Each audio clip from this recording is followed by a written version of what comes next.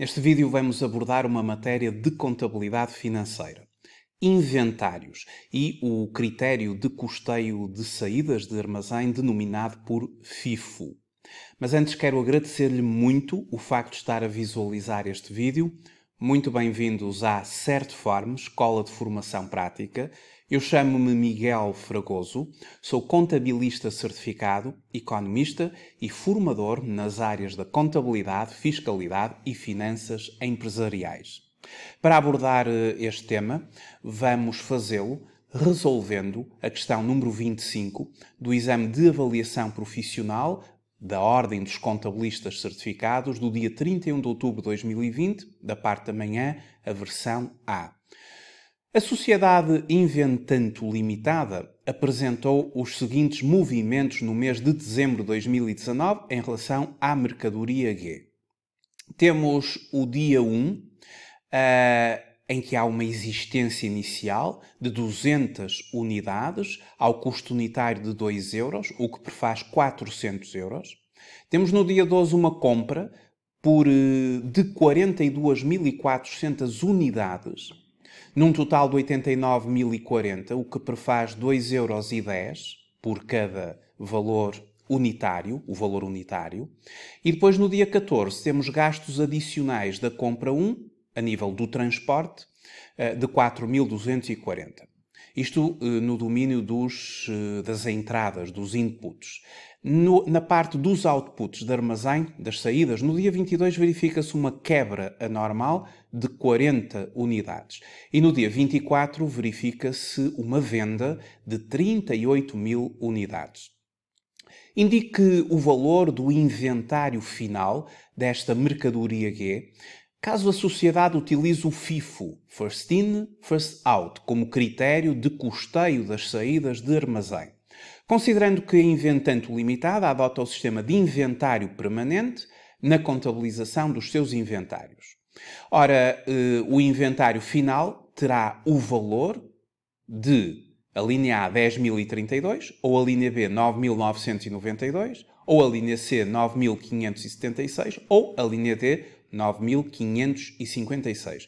Um destes quatro é efetivamente o valor do inventário final desta mercadoria. Ah, as questões dos inventários, elas requerem a norma contabilística e de relato financeiro número 18. Ah, no sistema de normalização contabilística, no regime geral das 28 normas, a norma contabilística e de relato financeiro 18 é norma dos inventários e que tem a sua base na IAS. De acordo com esta norma 18, Uh, ela uh, é uma norma que o seu objetivo é o de prescrever o tratamento para os inventários. E, uh, segundo a norma, quanto ao FIFO, o FIFO é um método de, de custeio segundo o qual, e de acordo aqui com a respectiva norma, o FIFO, propriamente dito, Uh, é aquela fórmula que nos permite referir que a primeira entrada é a primeira saída. O, a primeira mercadoria a entrar será a primeira mercadoria a sair. Por isso é que é o first in, first out. E é isto que nós vamos ter de utilizar na resolução deste, deste caso. Ora, uh, Considerando uh, aqui este quadro, eu elaborei um esquema que nos vai permitir determinar qual é, então, o valor da existência final. Bom, então, uh, do ponto de vista das entradas de armazém na conta de mercadorias, de acordo com o nosso enunciado, nós tínhamos que no dia 1 de dezembro a existência inicial era de 200 unidades a 2,4 euros. Depois verifica-se uma compra no dia 12 eh, de 42.400 unidades, o que prefaz 89.040 euros. E o que dava 2,1 em termos de valor unitário. Só que no dia 14 nós temos gastos de transporte relacionados com esta compra.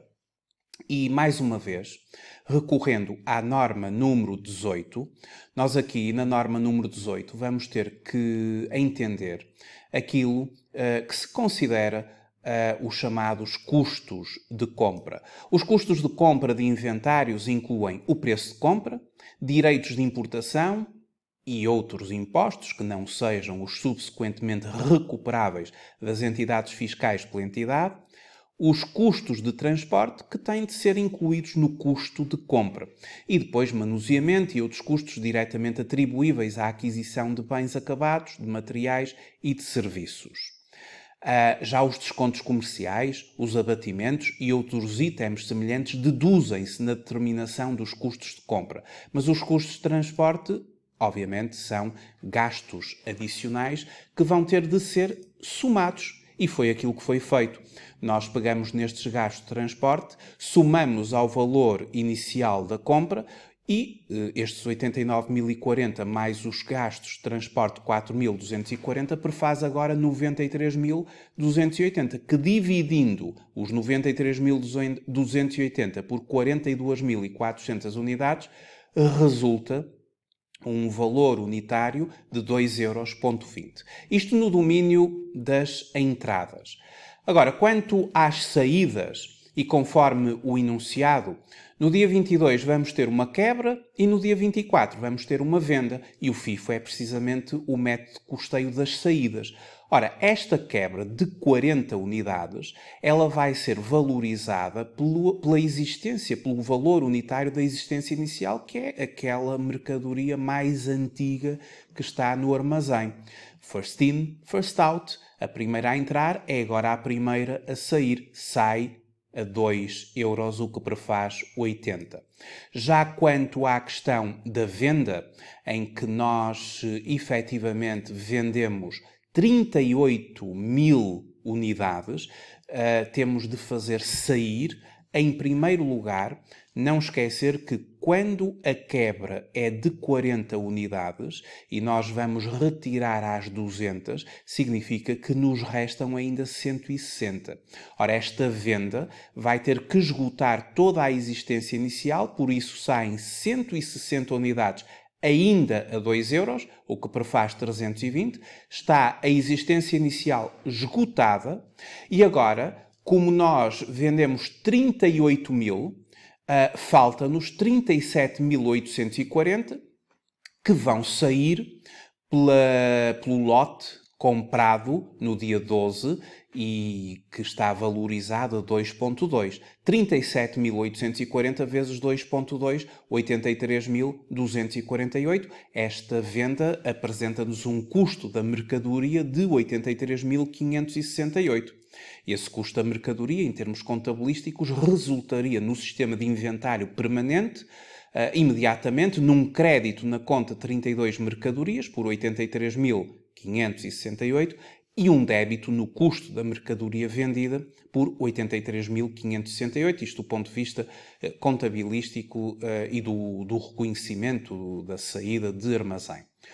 O que é que nos resta é a chamada existência final. Disto tudo, eh, considerando então as entradas de 400 mais a compra de 93.280, conforme nós tínhamos já explicado, e agora as saídas respeitantes à quebra valorizada em 80 e à venda valorizada em 83.568, obviamente que aquilo que resta em armazém é uh, o inventário final uh, desta operação, ou seja, os 400 mais os 93.280 menos os 80, menos os 320, menos os 83,248, ou seja, 10.032 é a existência final, que no fundo é o saldo uh, que nós temos aqui uh, no armazém nas mercadorias. Então, face a isto, a resposta correta é a linha A,